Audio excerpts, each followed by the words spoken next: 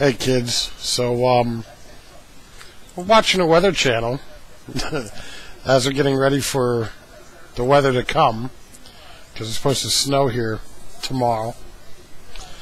And I'm watching the Weather Channel, and um, and, and this is in between watching the farm show in Harrisburg, by the way, because that's on PCN.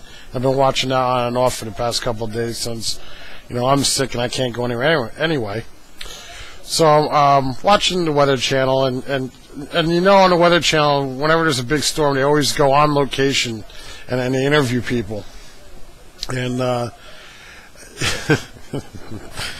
the amount of people who feel they're entitled to uh, public services, um, it, you know, all like you know, you better clear my streets right away, and and all this other horseshit.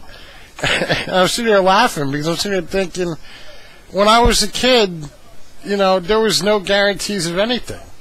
And I'm only 34. I'm going to be 35 in February, so I'm not that old. But I remember when I was a kid, you know, uh, my mother always was prepared for such things, and she had studded snow tires for her car in the winter time, and and, and the, my landlord, who actually lived next door, interestingly enough uh, he actually had a set of tire chains for his pickup truck.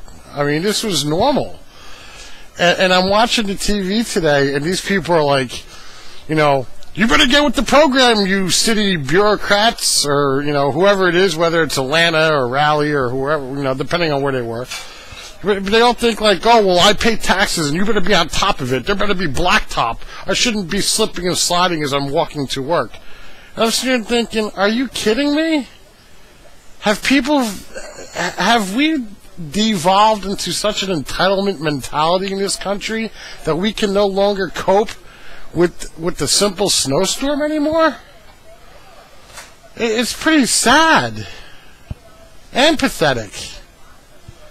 So I, I just had to rant for a little bit about it because, uh, you know, if these people can't handle snowstorms, the, the inconvenience of bad weather, okay?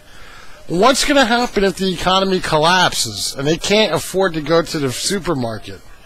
Or what happens if, you know, the lights go out for an extended period of time and they can't watch their TV or, or you know, play their Xbox 360 and get their game controller thumb or whatever else it is that they do nowadays? I just wonder. Until next time, peace, love, God bless you all, and God bless the Republic.